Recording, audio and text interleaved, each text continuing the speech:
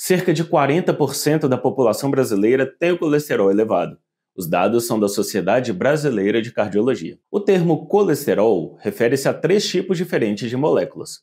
O colesterol VLDL, que está ligado ao aumento dos triglicérides e é prejudicial à saúde. O colesterol LDL, conhecido como colesterol ruim, derivado de gorduras de origem animal e algumas vegetais, que contribui para doenças. E o colesterol HDL, considerado colesterol bom, que protege contra doenças ao remover a gordura das artérias, sendo benéfico quando elevado por meio de exercícios físicos e uma alimentação saudável. O colesterol LDL e o VDL são traiçoeiros porque não provocam sintomas e muitas pessoas não sabem que têm esses níveis altos. Esses tipos de colesterol entopem vasos sanguíneos e artérias em todo o corpo.